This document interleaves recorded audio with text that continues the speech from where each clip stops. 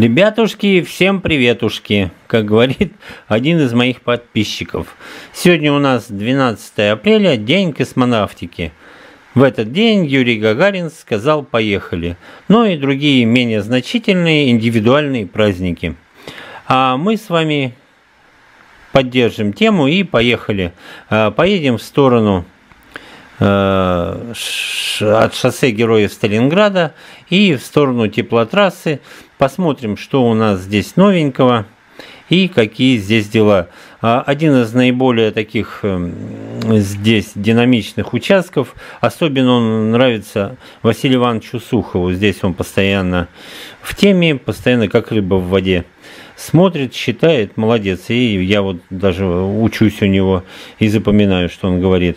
Ну и давайте посмотрим. Вот здесь система стрелок. Э, очень много так и все здесь ясно, что ничего не ясно.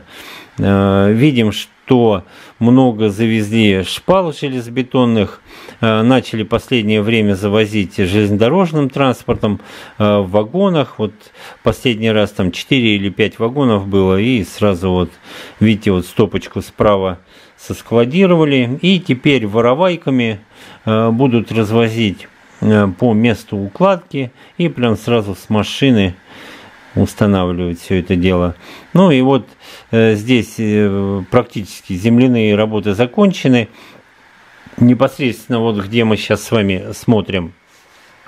А чуть дальше, вот туда, в сторону теплотрассы, вот с левой стороны, э, достаточно еще интенсивные работы идут. Ну, где-то уже готово, где-то еще нет. И тут такой небольшой участочек еще остался а, на подходах как раз а, к двухпутке через автомобильную дорогу. Ну, все по порядочку мы сейчас увидим. Э, смотрим вот справа уже разобрали опалубку первого этажа, диспетчерский пункт. Вот, грешным делом раньше думал, что это будет вокзал, но вроде как не похож он на него. Э, справа одна емкость наверху была, вот установили ее, по-моему, что-то я прозевал. Ну, по-моему, да. Ну, сами понимаете, праздники, 75 лет Керчи, освобождению, День космонавтики, ну и прочие другие. Вот, смотрите, кстати, э, с левой стороны земляные работы, как раз вот о чем я и говорил, здесь э, не устаю я поражаться, вот сколько земли перелопачено, ну просто вот вроде уже не один ролик, уже надо, надо привыкнуть а я вот к этому никак не привыкну. Конечно, вот когда летишь, так снивелировано все, а когда по земле идешь, ну, просто колоссальные объемы, грандиозные. Ну и потихонечку подлетаем мы с вами к эстакаде теплотрассы и видим, что уже две нитки железнодорожных путей уже уложено под э, эстакадой 74 метра, кстати, длиной она. И вот уже отстрелочный перевод, прям ровно под самой эстакадой. И третья нитка будет уложена. С левой стороны еще одна пойдет. Вот и посчитайте, сколько их здесь будет. И вот дорога пошла на мост. Ну, Работы, конечно, еще много, но они довольно-таки динамичны. Э, здесь вот в этом участке шумки вроде как не ожидается шумозащитных экранов. Ну и вот лэп сейчас мы видим, что по две опоры стоят с каждой стороны. Ну и вот нагнулись мы с вами, опустили голову вниз и посмотрим, что у нас тут. Ну, пока, да, э, ходит здесь железнодорожный транспорт, вот как раз и путеукладчик прошел а, по этой ветке, вот справа какая, которая уходит на станцию Керчь. Просто Керчь, не южная, не северная, не западная, не восточная. Ну и мы вот перескакиваем лэпы и дальше летим.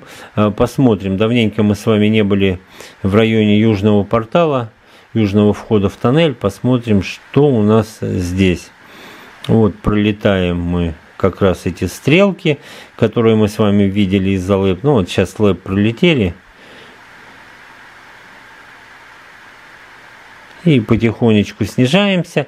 А, первая у нас эстакада, Аршинцевская эстакада, Керчь-Аршинцева, железнодорожная. А, Ее уже давно а, уложили рельсо-шпальную решетку, защебенили. Кстати, вот хороший ролик у меня был как раз, когда укладывали RCR на этой эстакаде, и мы, как скажет змей, сверху за этим всем процессом наблюдали. И вот хорошо здесь видно, как э, расходится насыпь. Направо пошла Керчь-Аршинцева ветка, а чуть левее как раз две ветки пойдет на мост, ну, с моста вернее, и на мост, все правильно, что я. И в сторону Багерова сразу через э, путепровод, вот над автомобильной дорогой, через мост, через мост правой реки Мелекчесме, или мы уже Биельский виадук, уже успели в Яндексе карты поменять. Вот, блин, что не скажи, все. Ну и вот как раз вот этот участочек, что э, мы с вами э, наблюдаем меньше всего, вот он уходил как-то от нашего взора, да и, собственно говоря, э, никакой интересной работы там и не было. А вот сейчас за него взялись как раз это вот выход на двухпутку, на путепровод. Откосик, видите, какой здесь опять про откосы грандиозный.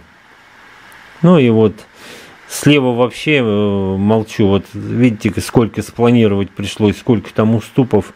Я даже считать боюсь. И выскакиваем мы на путепровод. Почти, почти здесь готово. Будем скоро ожидать с вами и здесь рельсы шпальной решетки. И вот он, собственно, путепровод через автомобильную дорогу, 214 метров его длина. И сразу за ним протекает э, Джарджава река. Хорошо видно ее такое скромное небольшое русло. Конечно, это не Енисей и не Лена, но все-таки. Ну и вот смотрите, э, сбоку посмотрим. Э, сразу скажу, видно, что гидроизоляция нанесена. Вот хорошо мы с вами наблюдаем стыки где-то деформационные швы, ну, они обычно на опорах находятся, и вот здание там будет строиться, ну, где-то вот в этом районе как раз нужно будет построить для охраны домик, потому что как раз здесь путепровод идет, и его надо будет охранять. Ну, а здесь вот сейчас мы с вами будем здесь повертимся, покрутимся и посмотрим, вот как река Джарджава идет, э, переток через автомобильную дорогу с уклоном э, вот в эту сторону, ну, чтобы откосы вы видели там какие большие, и вот сюда будет стекать. Вот. Это вот здесь немножко перекрыли, и вот она, водичка собралась. И хорошо видно, как русло идет. Такое, конечно, русло небольшое, но опять же говорю, что есть, то есть. Вдалеке у нас девятый километр. А здесь вот смотрите, интересно, тоже откосы большие были и кое-где уже заколосились. Хотя, конечно, слабенько. А сейчас солнце все больше и больше, и боюсь, что травка не успеет зазеленеть, вы, выгорит и будет все желтое.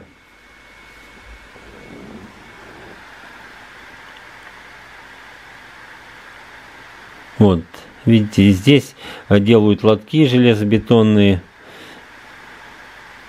И вот смотрите, какой объем работы, какие откосы огромные. Вот здесь я как-то лазил, ну, на вид, конечно, впечатляет.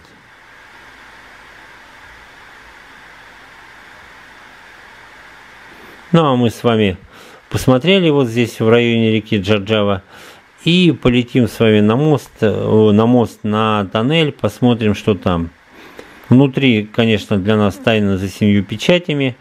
Можем апеллировать только скудными официальными сведениями, которых нет, кстати. Ну и что там сказать.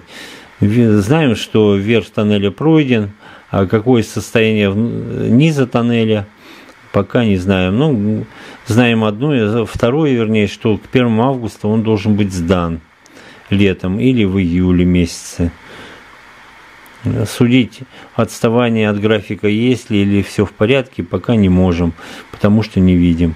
Ну и вот здесь, видите, этот участок от эстакады двухпутные и до тоннеля практически рельсо-шпальная решетка в две нитки уложена. Подлетим с вами к южному входу в тоннель, южному порталу и посмотрим, что тут у нас новенького. Ну, здесь-то, грубо говоря, мягко выражаясь, особо-то и перемен нет. Вот грунт слева, выдаваемый из тоннеля, пока складируется, никуда не вывозится. Ну, может, и не нужно его никуда вывозить. Распланировал такой очередной курган. Славу сделал и нормалек.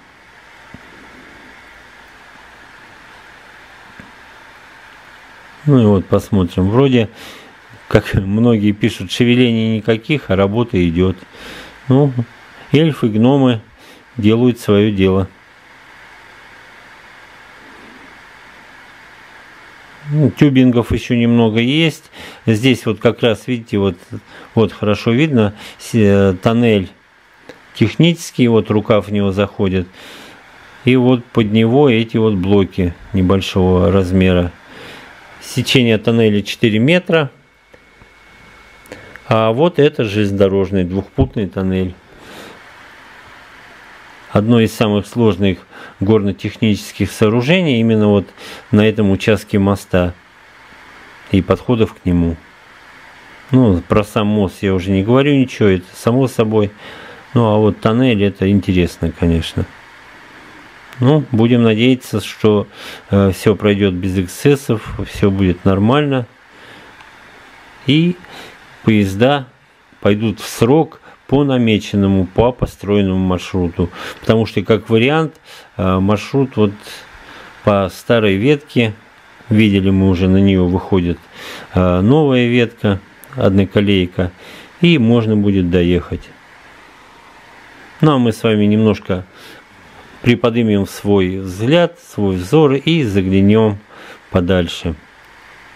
Ну а я на этом буду заканчивать, дорогие друзья.